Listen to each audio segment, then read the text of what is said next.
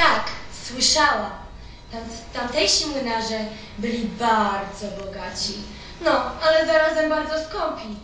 Pewnego dnia do Wstchowy przybył bardzo biedny żebrak. Postanowił on skorzystać z gościnności któregoś z młynarzy. Zapukał więc do pierwszego z młynów. Jednakże skąpy żebrak przegnał go, mówiąc, że z żebractwa nie wyżyje i żeby znalazł sobie jakąś lepszą pracę. Nie znużył się jednak żebrak i postanowił, że zapuka jeszcze do drugiego i trzeciego młyna. Jednakże z tym samym skutkiem. Pomyślał, a może to tylko tych trzech młynarzy było wrednych. Może przy następnym mu się szczęści i może to właśnie on go ugości jak należy. Jednakże pomylił się, bo ten pogonił go psami.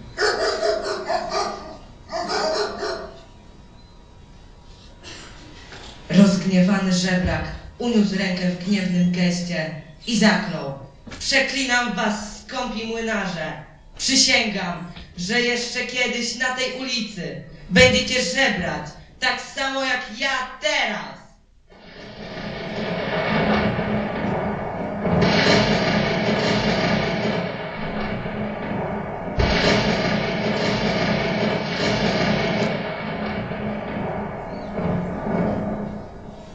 Nastała noc.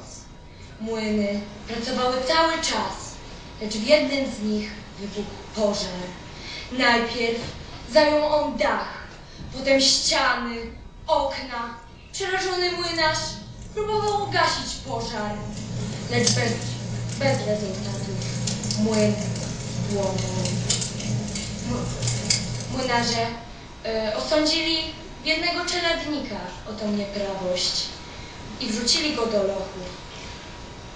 I nastała kolejna noc. Młyny pracowały bez przerwy.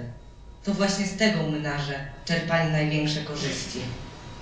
Lecz i tej nocy zapalił się nie jeden młyn, a dwa. Ogień pochłaniał najpierw drzwi, później ściany, aż dotarł do sufitu. Młyn dosłownie stał cały w płomieniach, jeden i drugi, aż w końcu runął. Obecnie we Wschowie znajduje się 47 młynów. W żaden sposób nie udało się odbudować wszystkich. Kiedy tylko skończono budować setny, zaraz wybuchał pożar. Klątwa trwa nadal. Ciekawe, w jaki sposób można odwrócić tę klątwę.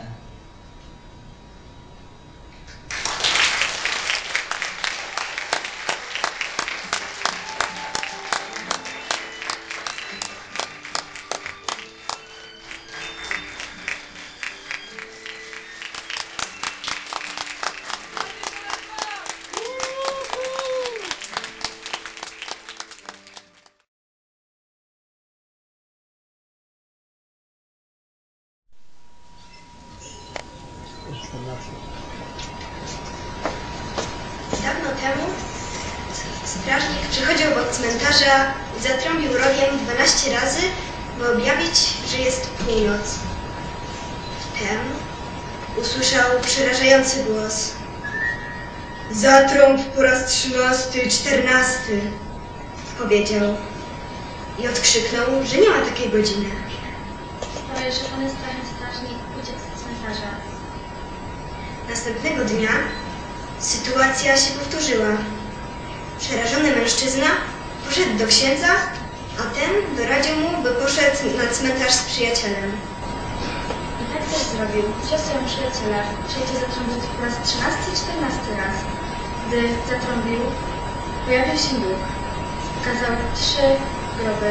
Jeden oznacza krew, drugi susza, a trzeci wojnę.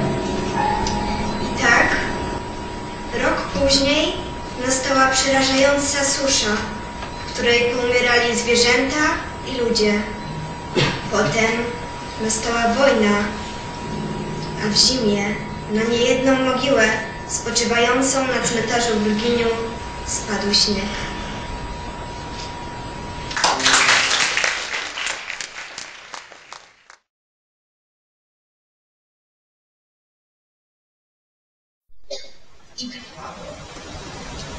Minęło 300 lat.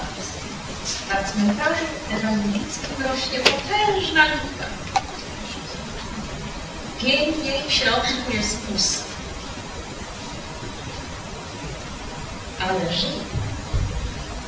Czasami cichą, spokojną noc, gdy miasto śpi, pień lipy się otwiera i z tego kwiatu. Przenika pustymi ulicami miasta i znika. Jak jesteś cierpliwy, czasami w taką noc możesz usłyszeć głos z wnętrza. Ty masz rację, bo w ubiegłym roku, jak byłam na nocy w muzeum, w lapidarium coś dziwnego słyszałam. Ale, tam, gdzie głosił Słowo Boże Waleriusz Hellinger, to przecież to miejsce istnieje do dzisiaj, a warunki powstania były niezwykłe. Ponieważ w mieście, znam, w mieście były ludzie, byli ludzie różnych wyznań. Katolicy, protestanci, luterani, ewangelicy, a jak zwykle świątyń domu Bożym było wiele mniej. No i był taki czas, gdzie bardzo dużo było ewangelików. Zawłaszczyli oni sobie świątynię, no i wtedy luteranie, luteranie zaczęli przeciwko protestować. No, najpierw zwrócili się do rajców miejskich. Prosili o zgodę na wybudowanie dla siebie świątyni. Ale rajcowie miejscy nie za bardzo się z tym zgadzali.